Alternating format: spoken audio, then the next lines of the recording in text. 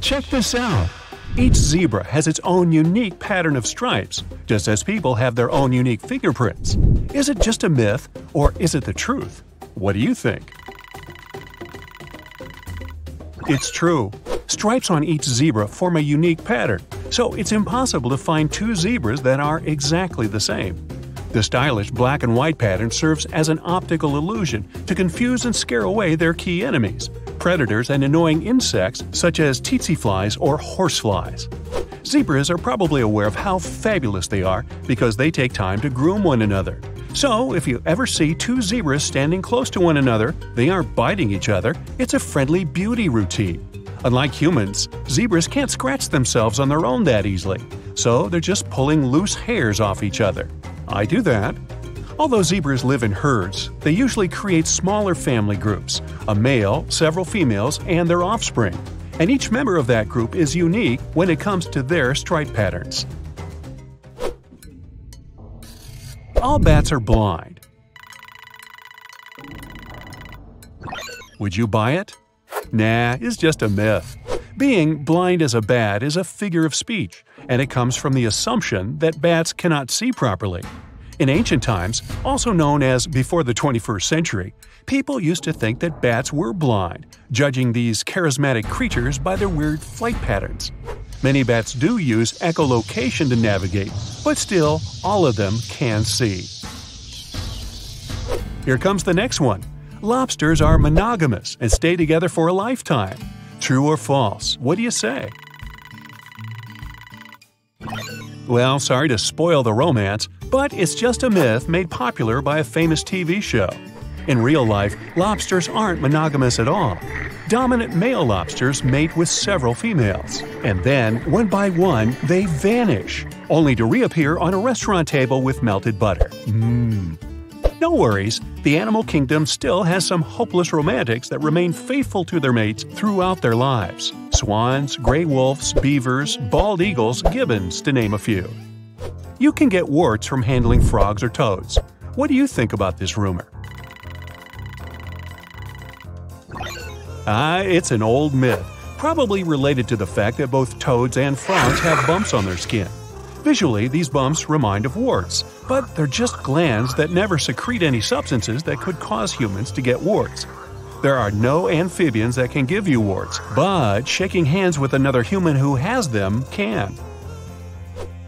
Moving on, turtles live inside their shells, and they can go outdoors anytime. Is it true or false? It's a myth. Those fairy tale and cartoon turtles pop out of their shells whenever they like. But in fact, saying that turtles live inside their shells is like saying that people live inside their own skin. A shell isn't just a separate empty space that serves as a costume. Although turtles can tuck their limbs inside for protection, it's actually an integral part of the turtle's anatomy. Take a look at the actual structure of its skeleton. The shell is fused to the bones of the skeleton, and the turtle can't live without it. The same goes for tortoises.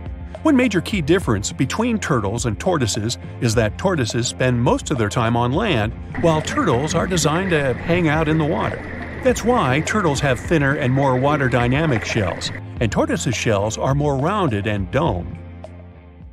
Next, koalas' fingerprints are indistinguishable from humans. Does this sound realistic? Although it definitely sounds like it's made up, in fact, it's true. If you compare a human fingerprint to a koala's, you'd hardly be able to tell the difference even under a microscope. When scientists made this discovery, they warned the police because these fluffy little cuties are really capable of confusing forensics at crime scenes. The smart guys suppose that the koala's fingertip features have recently improved independently in their evolutionary history. Koalas' relatives like kangaroos and wombats don't have the same features. Koalas probably developed these complicated fingerprints because they help them grip onto leaves and branches more easily. Koalas are known as super fussy eaters. In fact, they prefer eucalyptus leaves of a particular age. Mm. Their sensitive fingers may have evolved as a tool to spot out the right leaves by their texture. Koalas aren't the only mammals with human like fingerprints, by the way. Finger patterns of chimps and gorillas are also pretty complex. Ready to move on to the next rumor? Ostriches put their heads in the sand to hide from predators. Myth or true? What do you say?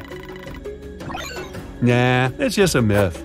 Ostriches don't stick their heads in the sand when threatened. In fact, these guys don't bury their heads whatsoever. This myth has spread, thanks to that famous idiom, to hide one's head in the sand. In real life, ostriches have to dig holes in the sand for their eggs because they're flightless birds. To make sure they're evenly heated, ostriches put their heads in there to rotate the eggs from time to time. But ostriches still have some escaping mentality. When they face some threat, they can flop to the sand and stay perfectly still, pretending they aren't alive. Goldfish can't remember anything for longer than a second. Hmm, can it really be that bad? If you often say you have a goldfish memory as an excuse for forgetting something important, I have some bad news for you. Multiple studies have proven that goldfish can remember things for several months, if not more. Scientists from an Israeli university held the cutest experiment. For one month, they turned on classical music while feeding the fish. They believe that this practice would teach the fish to associate the melody with food. In five months, after the end of that training period, the fish still got excited and started looking for food every time they heard the music piece that had played earlier. Ah, Mozart! Hey, where's my food? It's not clear exactly where this myth came from or why it's so popular, but some people suggest that goldfish owners started it as they felt guilty about keeping their pets in tiny bowls. Cats and dogs are colorblind. Any thoughts on this one? Well, that's not true. Cats and dogs have much better color vision than we thought. This myth is probably just an exaggeration of the fact that each animal perceives colors differently than people. Studies reveal that both cats and dogs can see in green and blue. They also have more light sensing cells in their eyes, also known as rods, than humans do. It means that cats and dogs can see way better in low light spaces. Dogs' eyes have fewer cones, those color sensing cells, that's why scientists believe that dogs' approximate color vision is only about one seventh as vibrant as humans. Sharks can only breathe and stay alive when they swim. Does this one sound real to you?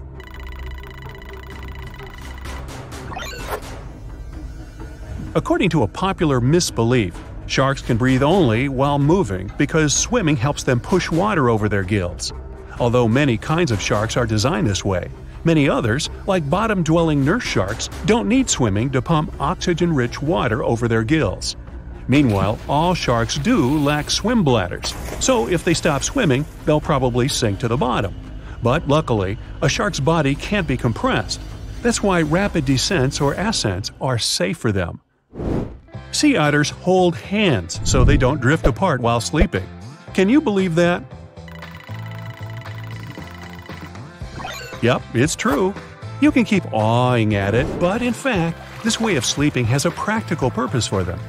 Scientists suggest that sea otters develop this cute habit to stay close with their mating partners. If you hold your otter girlfriend's hand tightly all night, it will reduce the risk of her mating with another male while you're sleeping. Shameless. Also, holding hands helps otters to protect themselves from predators because they stay away from the land altogether. Now, if a human touches a bird nestling, its mother will abandon it. Myth or truth? What do you think? Luckily, it's just a myth. In fact, parent birds don't recognize their younglings by smell. So, feel free to put the cuties back in the nest. And always hang on to your otter girlfriend so you won't get eaten. Good advice.